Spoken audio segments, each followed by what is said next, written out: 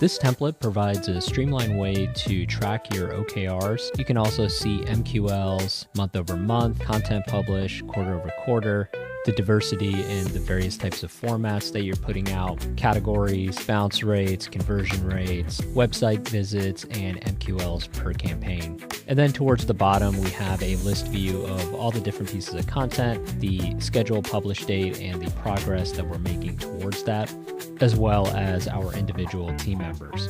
Now, it wouldn't be a content calendar without some calendar views. So, the first page you're going to come to is going to be the campaign timelines. This is going to show you the start and end dates of the different campaigns that you have.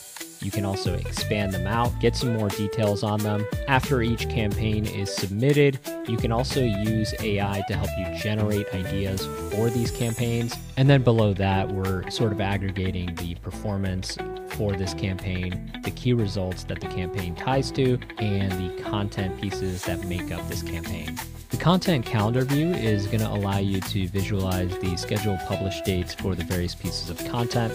We can track performance for this piece of content. We can also add individual tasks for the content. And then we can use AI to help us generate ideas based on not only the format, but also the category. If a certain idea seems to resonate, you can simply copy that idea, paste it here, and then generate a draft this now gives you a pretty solid starting point. What you'll notice is a lot of the AI outputs are pretty good, and that's because we spent quite a bit of time on the prompt structuring, testing, and refining to ensure that it's not just AI for the sake of AI, it's AI that's actually going to make your life a little bit easier.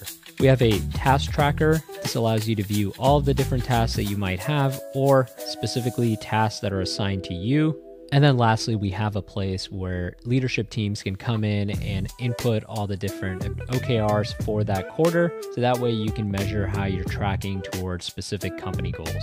If you want to learn more about the setup or dive deeper into specific topics, feel free to check out some of the other videos.